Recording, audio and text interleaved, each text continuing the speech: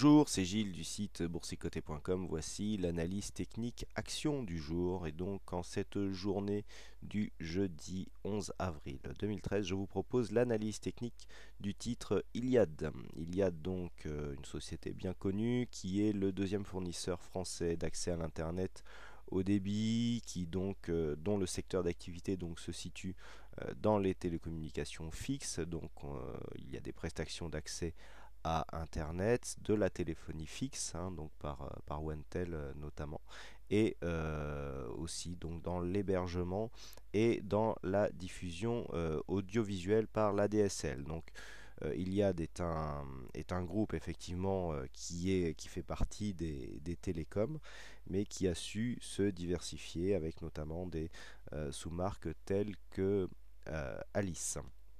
Alors, le titre Iliad donc bénéficie d'une tendance moyen-long terme très dynamique. Nous avons une phase de hausse qui dure depuis maintenant quelques mois, si ce n'est quelques années. Iliad qui a euh, défrayé la chronique euh, dernièrement avec ses nouveaux euh, tarifs sur le sur le, la 3G avec les abonnements donc de téléphonie mobile.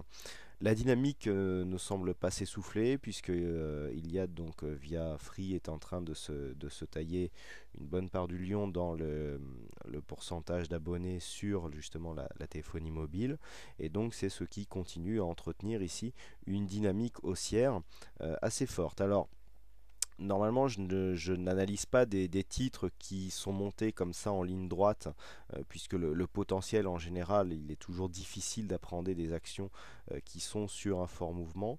Mais euh, par rapport donc à la dynamique de ce titre, eh bien, je vais tenter de vous, de vous indiquer comment profiter de ces, de ces titres, même si la hausse a été déjà conséquente par le passé. Donc comme nous pouvons le voir ici sur cette phase, nous sommes donc sur une dynamique ici euh, haussière, donc moyen-long terme, qui connaît une phase d'accélération court terme. Sur cette phase, nous avons ici l'inscription d'un gap donc gap qui se fait, euh, qui s'ouvre sur une précédente zone de résistance. On ouvre ici un gap haussier, on tente de le combler, mais on vient à peine ici euh, attaquer la zone d'une zone de précédent point haut avant de repartir en dynamique. Le marché a consolidé sur cette phase et sur cette, euh, sur cette vue, nous pouvons constater que la consolidation du titre a été beaucoup mieux contenue que ce qu'elle l'a été sur le reste du marché. Donc le potentiel par rapport donc à ce potentiel haussier et notamment par rapport au reste du marché reste intact. Hein. on n'est pas ici dans une classe d'actifs où euh, par rapport à une forte dynamique lorsque le marché consolide, eh bien, le, titre consolide un peu plus, comme ce qui est souvent le cas, notamment sur les valeurs cycliques. Alors, du point de vue de la configuration court terme, nous avons une configuration ici avec un RSI qui est monté en zone de surachat ici sur cette phase de hausse suite à la cassure de ce précédent plus haut que nous avons fait sur un gap. Le, le nouveau plus haut ici se situe juste sous les 170 euros, 169,800 sur cette cotation euh, qui est une cotation CFD, je le rappelle, hein, l'analyse se fait ici sur une, euh, une, évolution CFD. La phase de consolidation ici est revenue chercher la moyenne mobile 20 euh, exponentielle. Du point de vue du stochastique, nous avons quasiment la même configuration avec donc cette phase de surachat qui a donné lieu à une petite phase de, de consolidation.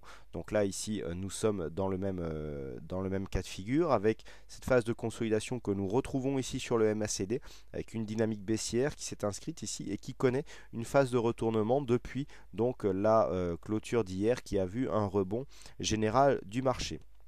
Le coefficient haussier, donc cet indicateur qui mesure la dynamique euh, des, titres euh, tel qu'il est expliqué dans le livre Gestion stratégique de portefeuille, est très haute. C'est une des valeurs les plus hautes de euh, tout le SRD. Donc on voit ici que la dynamique eh bien, se, retranscrit bien dans les indicateurs avec ici un fort potentiel. Du point de vue des volumes, à part ici cette, cette cette séance qui a connu de forts volumes sur une phase de baisse et qui marquait le début euh, d'une consolidation, c'est plutôt équilibré sur le titre avec ici des volumes haussiers qui reviennent en force. Alors, pour synthétiser, nous avons donc une tendance haussière bien installée avec une petite phase d'accélération court terme. D'ailleurs, nous pouvons voir sur cette vue ici moyen terme que nous avions une tendance ici moyen long terme avec ce, support en, vert foncé hein, qui correspond donc à une tendance sur, sur quelques semaines voire quelques mois avec une phase d'accélération ici sur ce support noir. Vous voyez que les points bas eh bien, commencent à marquer une accélération dynamique. Donc c'est aussi cette, cette confrontation et donc cette, cette divergence de deux supports qui laisse à penser que la dynamique peut encore continuer et nous offre encore euh, un potentiel haussier euh, intéressant. Pour se convaincre du différentiel de dynamique qui existe entre euh, le titre Iliad et le reste du marché, il suffit d'afficher ici en comparaison, donc en valeur comparée dans ProRealTime, un graphe du CAC 40. Donc ici le CAC 40 en bleu et gris, en évolution bleu et gris, avec une échelle en pourcentage comparable. Et ici, donc, le titre Iliad en rouge et vert. Nous pouvons constater que euh, la phase de consolidation qui a débuté ici euh, mi-mars a donné lieu à une baisse euh, généralisée du marché, alors qu'au début de cette phase, eh bien, le titre Iliad continuait à progresser, ce qui nous donne un différentiel positif en faveur du titre Iliad. Et lorsque l'on regarde par rapport à la précédente tendance haussière qui avait cours aussi sur le reste du marché, puisque le CAC 40, on le voit ici, euh, montait, eh bien la, hum, cette surperformance s'est accélérée. Hein. Nous avions ici un différentiel qui était notable, mais euh, euh, beaucoup plus faible que ce que nous avons depuis ici quelques jours, et ce, malgré la phase de consolidation que nous avons là, que nous retrouvons aussi sur le CAC 40. Hein. Je, vous, propose d'ailleurs de, vous reporter au graphique du CAC 40 pour bien apprécier ici cette différence. Et nous, ce que nous pouvons constater aussi, c'est que sur ce rebond, eh bien le rebond est fort dynamique hein, par rapport à ce qu'il est sur le CAC 40, puisque alors que sur le CAC nous sommes quasiment en clôture sur les niveaux d'ouverture de la séance du 5 avril, eh bien nous sommes largement au-dessus euh, sur euh, Hein, voilà, c'est bien visible ici. Nous sommes largement au-dessus si on prend les niveaux de clôture d'hier soir par rapport au niveau d'ouverture du 5 avril. Donc on voit la surperformance est toujours notable et ce titre eh bien, offre un potentiel haussier euh, très intéressant pour qui euh, joue la, euh, la continuité de ce différentiel de performance.